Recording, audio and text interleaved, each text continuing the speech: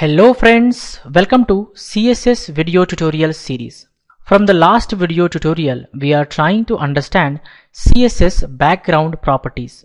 In the previous video tutorial, we discussed CSS background color property. Background color property is used to specify the background color for any HTML element. Let me go to the notepad. You can see here I have already opened default.html in the notepad. It has the basic HTML document structure code written. Title is set to CSS properties demo. I have already opened default.html in the Chrome. Title is set to CSS properties demo and it has the background color white. Let me go to notepad. In the head section I say opening style tag type equal to text or CSS. Then I say closing style tag then I tell to the browser, to the page, you have to apply the background color of hash 808080 semicolon. You can see here I am using a hexadecimal color value which is gray color.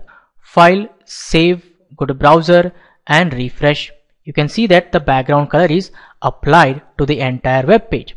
In this video tutorial, I would like to discuss CSS background image property and CSS background repeat property. CSS background image property is used to specify the background image for any HTML element. Various values that we can assign are, we can assign the value none or we can assign a URL function having a image path or image name. URL stands for Uniform Resource Locator. Let me go to the notepad. In the body, I say background image colon URL bracket bracket semicolon. In between single quotations, I am going to give here the image name. I minimize the notepad, I minimize the word, I minimize the Chrome. Here I have an image pattern.jpg which is of 100 by 100. That means the width is 100, height is 100. I'm going to copy this name pattern, go to notepad, here I paste .jpg. File save, go to browser and refresh. You can see that the background image is set. It looks like pattern image has filled the entire page.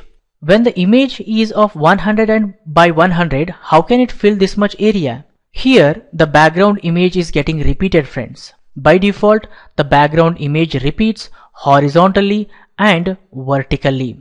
Let me prove that. I go to the notepad. Here I am going to use the background dash repeat property this time. Background repeat property is used to specify how the background image to be repeated, whether the image to be repeated or not repeated. If it is repeated, whether it should repeat horizontally or vertically or it should repeat both direction. Let's see the demonstration. Here I say no repeat. This time I am controlling the repeating behavior. I am telling that no repeat. The image should not repeat.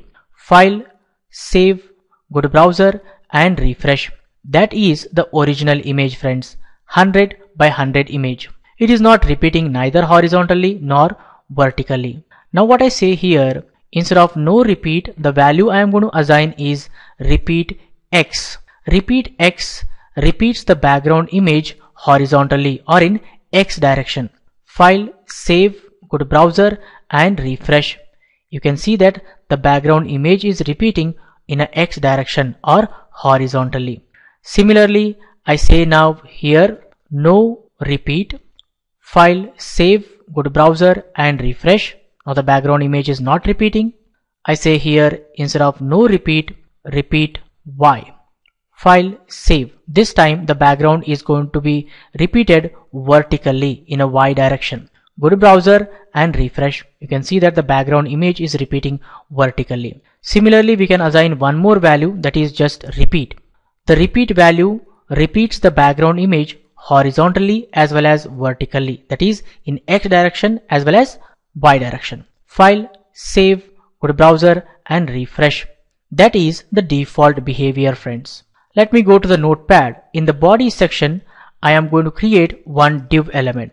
Opening div, closing div. To that, I give an ID of div1. Here I say locate any div which has an ID of div1. Apply width of 70%, height of 400 px background dash color white semicolon. File save go to browser and refresh. You can see that a div is created which has a width of 70%, height is 400 pixels, the background color is set to white. Let me go to notepad. I say here margin, top and bottom margin should be 100 pixels, left and right margin should be automatically calculated. File save, go to browser and refresh. You can see top and bottom we have 100 pixel margin left and right is automatically calculated hence the div is displayed in the center of the browser window. Next what I do is I am going to use the background image property copy that paste down. This time the background image is going to be applied to div1 file save go to browser and refresh. You can see that the background image is applied. It is looking like uh, the div is invisible. Div is there actually let me apply some border and show you. Here I say border of 2px solid black semicolon. File save go to browser and refresh. There is the border. Here is the div guys. Instead of the pattern.jpg I use another image so that we can understand clearly. The another image I am going to use is top to down .jpg I copy that go here. I say top to down JPG. File, save, go to browser and refresh. You can see that the top to down JPG image is again repeating horizontally as well as vertically. This is not going to be much more helpful. Let me go back and say here background repeat. I copy that and say here no repeat so that we can see the original image. File, save, go to browser and refresh.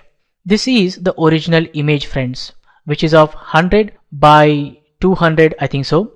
Now what I say here instead of no repeat I say repeat X. File save go to browser and refresh.